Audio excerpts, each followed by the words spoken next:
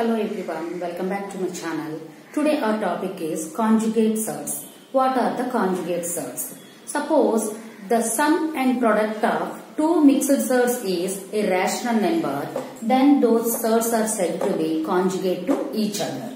Suppose the sum and product of two mixed surds, two mixed surds. First of all, what is a mixed surd? Okay, a is a rational number and root b is a surd.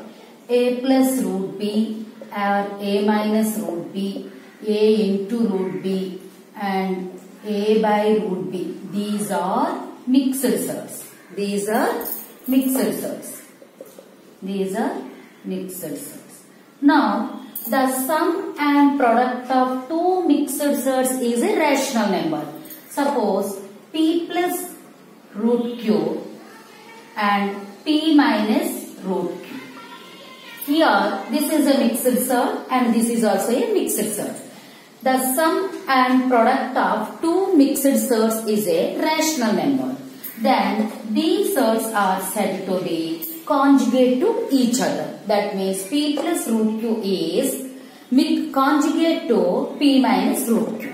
Okay. Then p minus root q surd is conjugate surd of p plus root q. Let us check. For example, 2 plus root 3 is conjugate conjugate surd of conjugate surd of 2 minus root 3.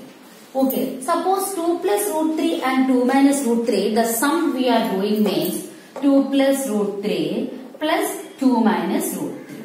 Plus root 3 minus root 3 cancel, 2 plus 2 is 4. Here the sum is 4, that means rational number. Now product means 2 plus root 3 into 2 minus root 3. a plus b into a minus b is a square minus b square.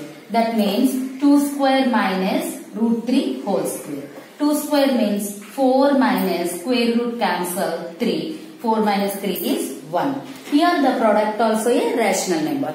So the sum and product of two mixed surds is rational number. Then those two surds are conjugate to each other. So 2 plus root 3 is conjugate surd of 2 minus root 3 or, and 2 minus root 3 is conjugate surd of 2 plus root 3.